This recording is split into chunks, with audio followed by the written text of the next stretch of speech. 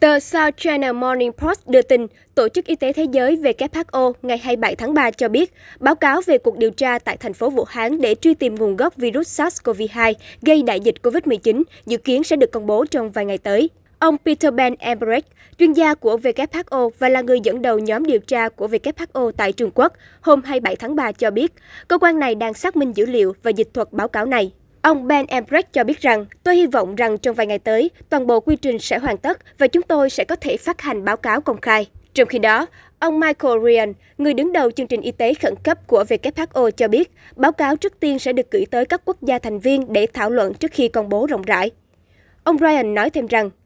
Chúng tôi muốn thể hiện sự tôn trọng đối với các quốc gia thành viên và chia sẻ báo cáo với họ trước tiên, vì họ là những người đã làm việc rất chặt chẽ với giám đốc để đảm bảo công việc này được hoàn thành. Báo cáo dài 400 trang về cuộc điều tra kéo dài 28 ngày tại thành phố Vũ Hán, dự kiến sẽ bao gồm biên bản cuộc họp giữa các nhà khoa học Trung Quốc và nhóm điều tra do WHO dẫn đầu. Trước đó, WHO được kỳ vọng sẽ công bố bản báo cáo vào ngày 16 tháng 3, trong khi một bản báo cáo tạm thời đã bị loại bỏ trong bối cảnh căng thẳng giữa Trung Quốc và Mỹ liên quan vấn đề minh bạch.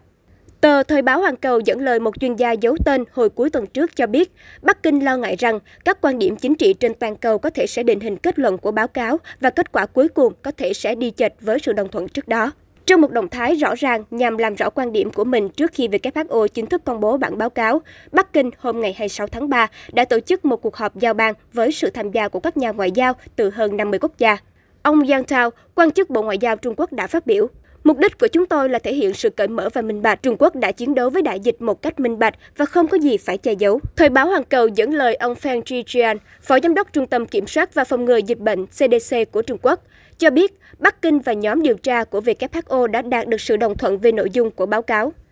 Ông nhắc lại rằng, kết quả của cuộc điều tra của WHO đã loại trừ khả năng virus gây đại dịch COVID-19 bị rò rỉ từ một phòng thí nghiệm và thay vào đó tập trung vào cách virus có thể lây truyền sang người hoặc trực tiếp từ dơi hay qua vật chủ trung gian hoặc qua các loại thực phẩm đông lạnh.